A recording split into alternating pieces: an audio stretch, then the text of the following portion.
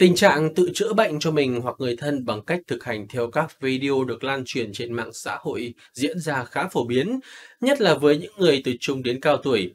Cũng bởi thế, tại một số cơ sở y tế đã tiếp nhận những bệnh nhân nhập viện thậm chí là trong tình trạng nặng, phải mổ cấp cứu. Trên thực tế, không phải tất cả các thông tin trên mạng đều có độ tin cậy cao và chính xác. Hoặc thậm chí có những kiến thức rất đúng với người này nhưng khi áp dụng với người khác lại phản tác dụng. Vì vậy, trong thời gian qua đã có rất nhiều người phải chịu hậu quả. Khoa cấp cứu Bệnh viện Hữu nghị Việt Xô thường xuyên tiếp nhận các bệnh nhân cao tuổi bị chấn thương niệu đạo, thủng trực tràng do thực hiện các video hướng dẫn chữa bệnh trên mạng xã hội. Đã có những trường hợp phải mổ cấp cứu. Đó là bệnh nhân xem các cái hướng dẫn. Ví dụ như là chúng tôi đã từng gặp các bệnh nhân mà bí tiểu và tự đặt trông, tự luồn các dụng cụ vào niệu đạo ở nhà để cố gắng đi tiểu. Rất nguy hiểm. Thứ hai là các bệnh nhân không đi ngoài được thì bệnh nhân lại tự thụt tháo tại nhà. Và ngay tại bệnh viện Hữu Nghị thì chúng tôi đã gặp rất, rất nhiều các trường hợp chấn thương niệu đạo do tự luồn các dụng cụ quá cứng vào trong niệu đạo và gây ra chấn thương niệu đạo, chảy máu không cầm, à, nguy cơ bệnh nhân bí tiểu mở bằng quang cấp và thứ hai nữa chúng tôi cũng đã từng tiếp nhận những bệnh nhân phải mổ cấp cứu vì tình trạng thủng trực tràng do bệnh nhân tự ý thụt ở nhà theo hướng dẫn ở trên mạng. Đó là khi bệnh nhân bị táo bón thì bệnh nhân dùng những cái vòi nước cao áp tự thụt vào môn à, việc đó hồi hình dung thì là gì hồi hình dung nó sẽ làm tăng cái áp lực của trực tràng lên đột ngột và nó sẽ vỡ và bệnh nhân đấy là những cái bệnh nhân diễn biến rất nặng. Lo ngại hơn do nhiều người ngại giấu bệnh không khai thành thật khiến việc chẩn đoán điều trị cho các bệnh nhân cũng gặp khó khăn khó khăn nhất đối với các bệnh nhân này đó là gì? Là các bệnh nhân này vào trong cái tình trạng ví dụ như các bệnh nhân mà tự tật uh, ờ, can thiệp các dụng cụ và niệu đạo để sông tiểu chẳng hạn chúng tôi đã gặp.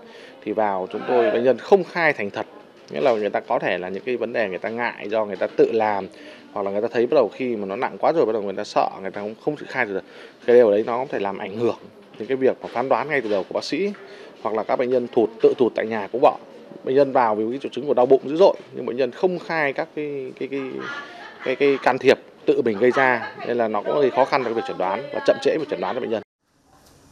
Trong khi đó đối với người trẻ, nhất là ở lứa tuổi học sinh, nhiều trường hợp lại nhập viện do thực hiện các thử thách trên mạng xã hội, nhét dị vật vào cơ thể. Sau 2 ngày nhét đoạn dây này vào bàng quang, bệnh nhân này bị đau vùng hạ vị, đi tiểu ra máu, phải đến bệnh viện để được thăm khám. Tại bệnh viện đa khoa Sanh Pôn, kết quả chụp CT cho thấy bệnh nhân có dị vật là một đoạn dây 26 cm trong niệu đạo.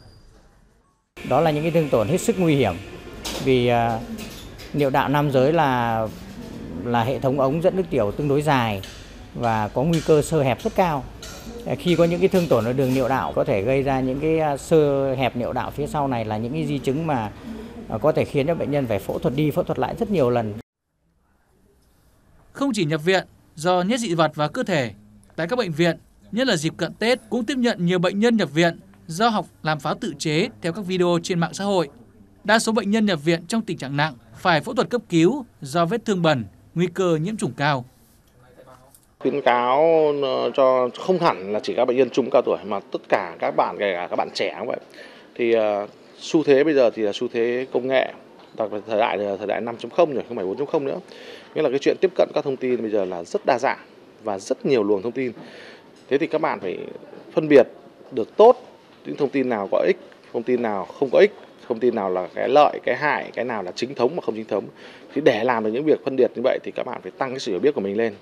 Thứ hai là tôi khuyến cáo thì tất cả các nguồn thông tin đặc biệt là can thiệp đến vấn đề sức khỏe của mình chúng ta phải uh, theo những cái trang website hoặc là những cái thông uh, thông công cáo chính thức của các cơ quan có thẩm quyền. Ví dụ như là các cái website của bộ y tế các website của bệnh viện hoặc là các cái website hoặc là các cái trang của các bác sĩ có tiếng các bác sĩ mà chuyên ngành đầu ngành thì các bạn nên theo. Còn các bạn không nên uh, tham khảo hay là đặc biệt là thực hiện tất cả các cái vấn đề mà trên mạng người ta đều có thể đưa ra tại vì có điều đó là điều hai mặt.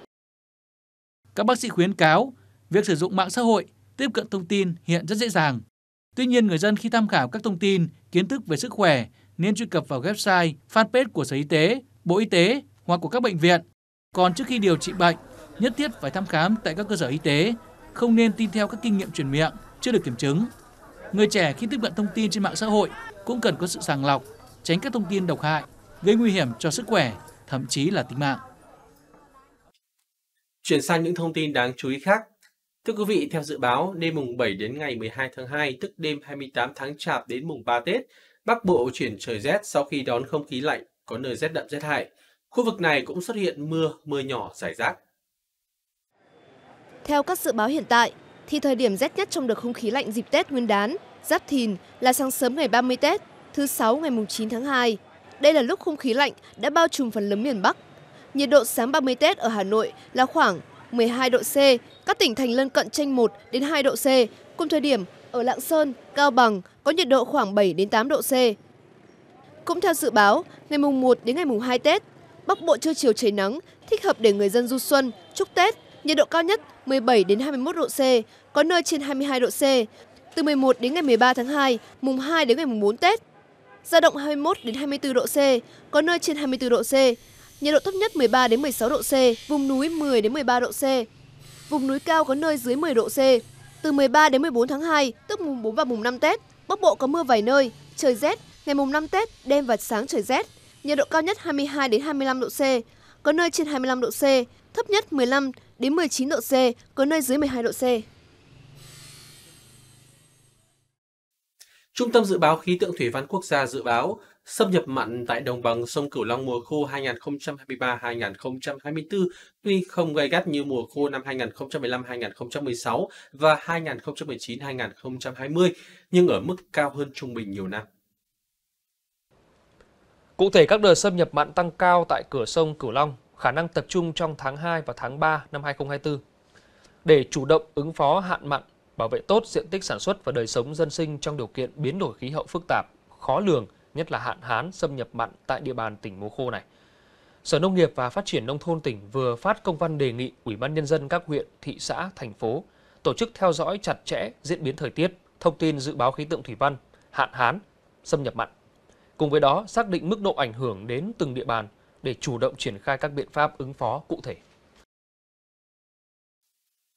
Tính đến ngày 6 tháng 2, có 29 quận huyện, thị xã trên địa bàn thành phố Hà Nội đã tổ chức Hội khỏe Phú Đồng. Riêng quận Bắc Từ Liêm lùi thời gian tổ chức Hội khỏe Phú Đồng đến sau kỳ nghỉ Tết Nguyên đán Giáp Thìn. Sở Giáo dục và Đào tạo thành phố Hà Nội, cơ quan thường trực Hội khỏe Phù Đồng cấp thành phố đánh giá các đơn vị địa phương đã tổ chức hội khỏe cấp trường, cấp quận, huyện, thị xã đúng tiến độ quy định, thu hút đông đảo học sinh tham gia. Mọi điều kiện cơ sở vật chất, trang thiết bị chuyên môn phục vụ các nội dung thi đấu được giả soát kỹ lưỡng, đảm bảo an toàn. Tính trung bình, mỗi đơn vị có khoảng 3.000 đến 4.000 học sinh tham gia hội khỏe phù đồng cấp quận, huyện, thị xã. Căn cứ kết quả thi đấu, các đơn vị đang tích cực thành lập đội tuyển, tổ chức luyện tập để tham gia hội khỏe phù đồng thành phố. Theo kế hoạch dự kiến, lễ khai mạc Hội khỏe phù đồng thành phố Hà Nội lần thứ 10 năm 2024 sẽ diễn ra ngày 15 tháng 3 tại Cung Thể thao Quần Ngựa, quận Ba Đình. Trước đó có lễ sơ duyệt vào ngày 9 tháng 3 và tổng duyệt vào ngày 13 tháng 3.